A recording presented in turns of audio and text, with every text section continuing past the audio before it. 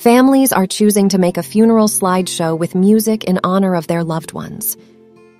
Your slideshow is a labor of love and a keepsake that your family can cherish for countless generations.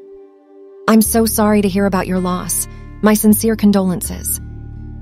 Here's how to make a funeral slideshow on Google Slides. First, open Google Slides. Make sure that you're sign in on Google. Click the square with circle dots. Scroll down and you can find the Google Slides. Click Google Slides. To create a presentation from scratch, select Blank Presentation. To use a prepared design, select one of the templates. Just click Template Gallery and you can see a bunch of templates that you can choose. But for now, let's start from scratch. Click the blank presentation.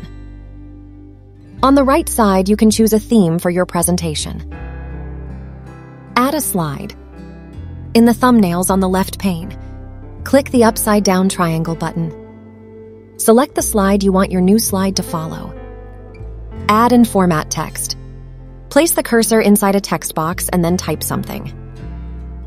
Select the text and then select one or more options from the font section of the editing bar, such as font, increase font size, decrease font size, bold, italic, underline, etc. If you want to add a text box, click the box with a T in the upper editing bar. There are also options with alignment and line spacing in the editing bar. Or add a numbered and or bulleted list. Add a picture, shape, and more. To add a picture, in the Insert section, select Image. In the Insert Image from the menu, select the source you want. Browse for the picture you want. Select it. Select it and then select Open. You can insert a picture as many as you can in each slideshow. You can add audio, shapes, tables, charts, and etc. If you want, just click the Insert tab. You can see the different options you would like to include in your slides. Add transition. You can add a transition to add a style to your slideshow by clicking the transition button located in the editing bar. You can change the style of the transition on each slide by clicking this button, and there's an option to you can apply it to all slides.